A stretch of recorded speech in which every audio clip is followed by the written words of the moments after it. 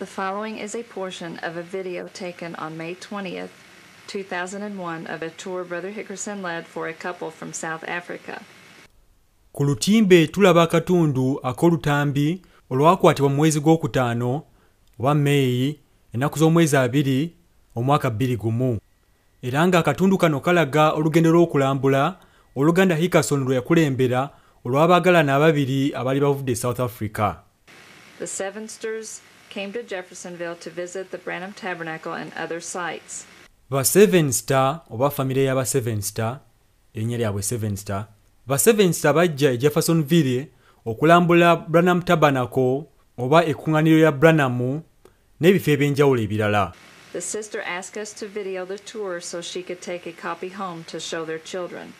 mwannyinaffe yatusaba tukwate olugendo luno ku lutambi asobole okubaayo ne kyazzaayo eka okulaga abaana baabwe balabeko It was just before 9 p.m. when we arrived at Eastern Cemetery to pay respects at the gravesite of Brother William Branham. essaawa zaali zinaatera butezi okuwera ssatu ez'ekiro we twatuukira ku kijja eky'omu buvanjuba oba tukiyite eastern cemetery okussaamu ekitiibwa ekijja ky'oluganda william branham One of us was blessed to see, with the natural eye, the light cross in front of the couple and leave the area. omu ku ffe yafuna omukisa okulaba tutegeeza n'amaaso ge gennyini ag'omubiri ameereere okulaba ekitangala nga kisala mu maaso g'abaagalana bano ababiri ne kiva mu kifo The light appeared to the natural eye as a ball of fire and was amber in color.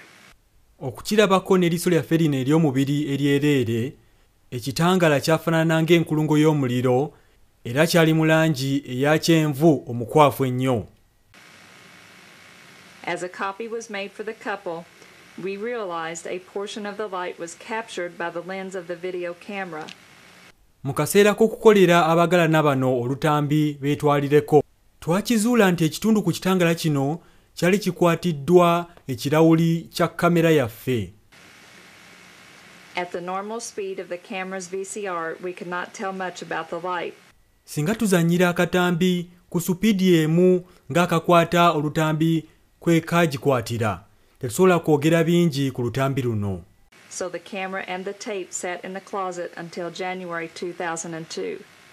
n'olwekyo akakwata olutambi kamera n'olutambi lwennyini byaterekebwa mu masa okutuusa omwezi ogusooka bbiri gumu Brother William Vincent, my dad, asked me to video Brother Hickerson opening a birthday gift from them on January the 19th, 2002. owooluganda william vincent nga ye kitange yansaba nkwate olutambi lw'oluganda hickerson ng'abikkula ekirabo ky'amazaalibwa okuva gye bali mu mwezi ogusooka ogwa januwali nga 19 22 The video camera has a few mechanical problems, so I was reluctant to do this. kamera yange ekwata ebifaananyi ebitambula erina obuzibuzibu mu bintu ebimu ebikwatibwako n'olwekyo kino nakikola ninamu okwegaaniriza The tape was still in the camera, and for the first time, using the camera's VCR and the pause button, olutambi lwali lukyalimu mu kamera era omulundi ogwasookera ddala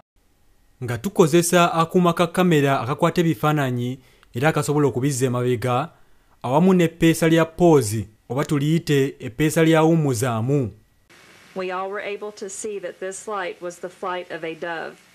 twasobola okukiraba nti ekitangala kino kwali kubuuka kwa jjiba As soon as Brother Vincent saw this, he strongly suggested we show it immediately to Brother Billy Paul Branham before his heart surgery, which was to be in a few days. Mbagirawo ng'oluganda vincent akirabye kino yateesezaawo n'amaanyi nti tukiragirewo oluganda bilipo branham nga tannaba kukolebwako okulongoosa kwa mutima gwe okwali kugenda okubeerawo mu nnaku ntono mu maaso awo. Twasobola okumuzannyira akatambi olunaku lwennyini olwaddako. Bwetyo empagi y'omuliro bwe yakwatibwa musobola okugyerabirako mukama ab'omukisa n'omujjiraba